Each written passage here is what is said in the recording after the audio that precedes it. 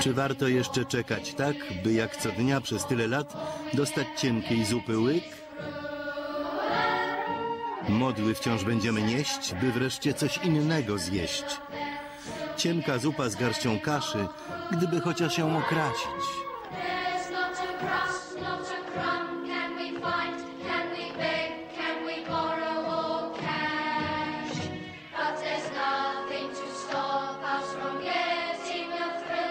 when we